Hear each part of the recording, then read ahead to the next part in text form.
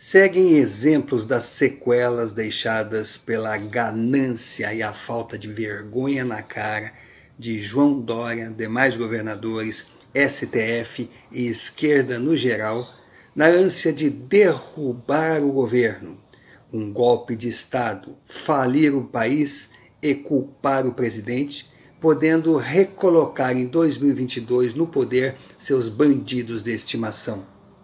Nambei Turismo, tradicional transportadora da cidade de São Paulo, encerrou atividade sufocada com o isolamento impetrado à cidade. Várias dezenas de novos desempregados. Hotel Taiô Termas de Caldas Novas, apartamentos vazios, dívidas crescendo, impostos não pararam de cobrar, 80% dos funcionários dispensados. A continuar a pandemia, a solução será fechar as portas. Transator São Paulo luta com dificuldades, mas está pessimista com relação ao futuro. Outra, caso essa filosofia de sufocar a economia não mude, não suportará e terá que fechar. Pousada do Rio Quente, o maior resort da região centro-oeste do Brasil. Hotelaria de alto padrão jogada às moscas. CSTF, parlamentares de esquerda e governadores não perceberem o crime que estão cometendo, será mais uma rumo à extrema unção. Transuniversal, outra a constar na lista das empresas que ficaram apenas na memória daqueles que tiveram a sorte de conhecê-las.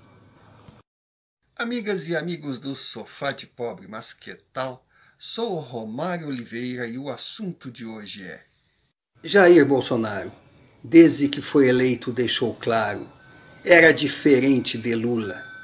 Não se tornara presidente para se curvar a interesses maiores ou corporativismos só para ser chamado de legalzinho. A sua missão no Planalto seria estancar a inversão de valores, a corrupção e as mentiras que passaram a ser tratadas como forma de governo na época do lulismo.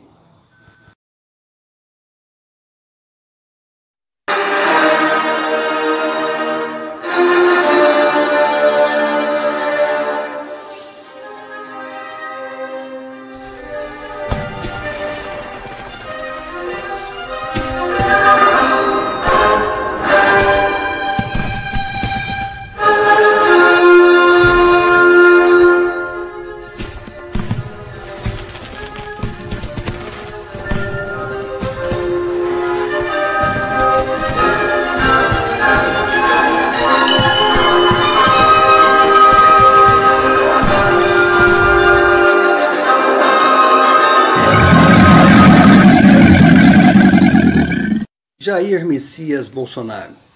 Profissão político. Cargo atual: presidente da República. Cidadão igual a qualquer outro. Tem suas opiniões e o direito de externá-las. Não joga para a torcida, diz a verdade doa quem doer e não criou o personagem bolsonarinho legal para fazer média e ser chamado de Ocara. Até aí, tudo normal desde que não misture pessoa física com pessoa jurídica, e provou nunca ter misturado. Você pode até discordar de algumas posturas ou declarações do cidadão Bolsonaro, mas terá que concordar. Ele, na condição de presidente, agiu sempre dentro da lei, fez o possível diante das limitações impostas e apresentou números comprovando o que tem realizado. Você tem o direito de discordar quando ele falou, uma opinião pessoal, que coronavírus era apenas uma gripezinha. Mas, depois dos números apresentados pela administração Bolsonaro na figura do presidente da República, se você não conseguir desmenti-los, terá que se curvar e aceitar, reconhecendo que o governo tem feito o possível diante da pandemia. Ao ver o número crescente de mortes, a população começou a exigir rapidez numa solução. Ele foi rápido. Só que rápido não é sinônimo de pressa. Ele foi um estadista. Não poderia sair alucinado comprando qualquer vacina sem aprovação da Anvisa. Um remédio sem eficácia ou efeitos colaterais conhecidos, na verdade, se torna um veneno. Agora, quem precisa se explicar é o STF. Por que barrou todas as iniciativas que o executivo tentava tomar?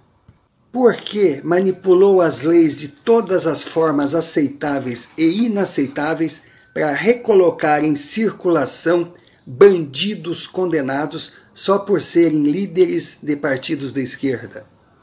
porque interferiu nas iniciativas inerentes ao executivo, colocando por terra uma das máximas da democracia brasileira: três poderes independentes e absolutos. E os governadores? Por que correram para instalar o caos, o isolamento, enjaular a população, paralisar a economia antes que fosse realmente necessário? quando os números ainda eram pequenos. Porque, ao invés de procurar uma vacina para a população, demonstrando ser o seu interesse proteger a saúde pública, direcionou todos os esforços em direção a uma única, a Coronavac chinesa. Porque criminalizou qualquer tentativa de tratamento preventivo que hoje está comprovado teria salvo muitas vidas. Muitos porquês que trazem à tona as mesmas respostas. A esquerda, que se diz cidadã brasileira, mas não aceita o verde e amarelo, não canta o hino nacional e diz ser contra o conceito de patriotismo, movida por uma ideologia cega, rodeada de utopia e conceitos sem nenhum sentido, de promessas de criar a terra perfeita, o país dos sonhos, mas sem saber como mostrar os caminhos a serem seguidos, simplesmente deixou cair a máscara. Hoje o Brasil sabe qual a verdadeira intenção da esquerda. Bolsonaro venceu. Discurso do lulismo desmascarado. Rejeição só aumenta. Reeleição dada como certa. O Brasil sabia, o tempo se incumbiria de mostrar a verdade. Hoje não há dúvidas. Governadores e STF amordaçaram o governo federal, agiram por conta própria, priorizando seus interesses políticos. O resultado é catastrófico. Mais de 300 mil mortos e a economia quebrada. Em resumo, o isolamento não foi a solução. A mídia fez a sua parte, criou o caos, o pânico, transformou a vida do cidadão comum no inferno com notícias devastadoras. Tentaram partir para a segunda etapa da farsa, o planejado, culpar Bolsonaro de tudo. A população disse não abraçou o presidente e foi às ruas. Foi e continuará indo. Ninguém suporta mais viver sob a ditadura de uma esquerda que só pensa em se perpetuar no poder. Sempre tentando manipular a verdade em benefício próprio, achando que conseguirá fazer com que a população aceite aquilo que não enxerga no mundo real. O brasileiro aprendeu a pensar. A casa caiu. Acabou a farra do inventar uma mentira, mandar milhares de militantes mortadelas repetirem até que se tornem verdades. O brasileiro quer números. Bolsonaro mostrou os dele. Esquerda, mostre os seus, ou, por favor, se cale. Ninguém aguenta mais discurso vazio.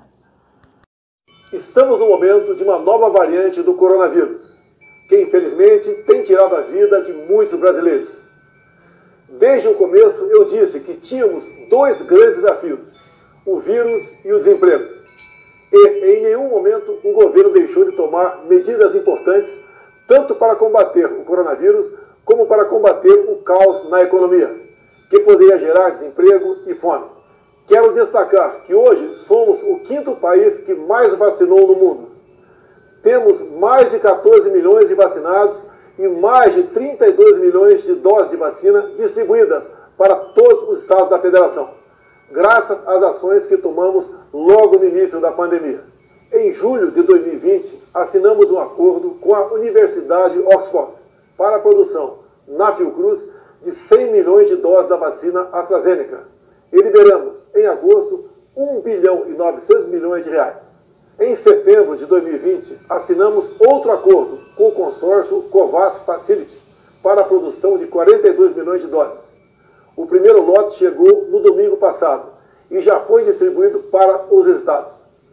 Em dezembro, liberamos mais 20 bilhões de reais, o que possibilitou a aquisição da Coronavac, através do acordo com o Instituto Butantan. Sempre afirmei que adotaríamos qualquer vacina, desde que aprovada pela Anvisa. E assim foi feito. Hoje somos produtores de vacina em território nacional. Mais do que isso, fabricaremos o próprio insumo farmacêutico ativo, que é a matéria-prima necessária. Em poucos meses seremos autossuficientes na produção de vacinas. Não sabemos por quanto tempo teremos que enfrentar essa doença, mas a produção nacional vai garantir que possamos vacinar os brasileiros todos os anos, independentemente das variantes que possam surgir. Neste mês, intercedi pessoalmente junto à fabricante Pfizer para antecipação de 100 milhões de doses, que serão entregues até setembro de 21. E também com a Janssen, garantindo 38 milhões de doses para este ano. Quero tranquilizar o povo brasileiro e afirmar que as vacinas estão garantidas. Ao final do ano, teremos alcançado mais de 500 milhões de doses para vacinar toda a população. Muito em breve retomaremos nossa vida normal. Solidarizo-me com todos aqueles que tiveram perdas em suas famílias. Que Deus conforte seus corações. Estamos fazendo e vamos fazer de 2021 o ano da vacinação dos brasileiros. Somos incansáveis na luta contra o coronavírus. Essa é a missão e vamos cumpri-la. Deus abençoe o nosso Brasil. Não havendo nada mais a tratar, eu, Romário Oliveira, lavrei o presente vídeo que será assinado por mim e pela história.